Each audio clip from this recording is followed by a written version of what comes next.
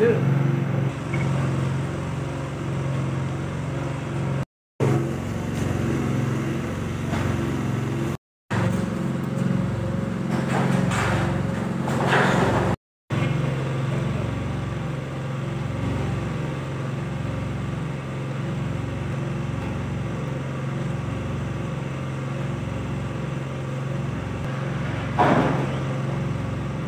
इसमें हमने एटीएम में जैसे ही आपको पता चला है कि कुछ लोग जो हमने बार बार हमने सिक्योरिटी एडवाइजरी भी करते हैं, कि लोग बार बार जो एटीएम पे जाते हैं, कि लोगों को पता नहीं होता कि एटीएम में कैसे काम करना है। तो कुछ शरारती तत्व हैं, उसमें कुछ ऐसे लोग भी हैं जो नशे की याद में हैं, वो आपका ए टी लेकर स्वैप करते हैं और दूसरा एटीएम आपको दे देते हैं।